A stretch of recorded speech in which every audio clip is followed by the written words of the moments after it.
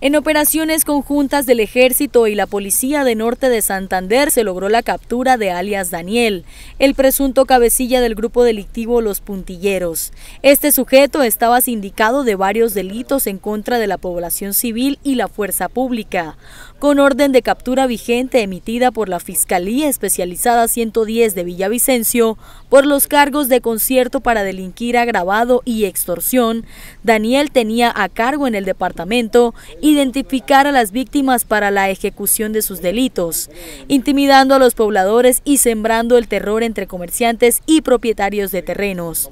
Tropas de la trigésima brigada y efectivos de la Policía Judicial ubicaron al sujeto en área general del municipio de Tibú, donde se logró establecer su presencia y realizar su aprehensión.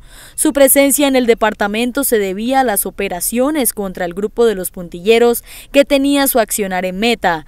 Este se encontraba delinquiendo en los llanos orientales donde se desempeñaba como jefe de finanzas del grupo armado y de donde huyó hacia el Catatumbo. Alias Daniel fue traído hasta la ciudad de Cúcuta, donde fue dejado ante la autoridad competente.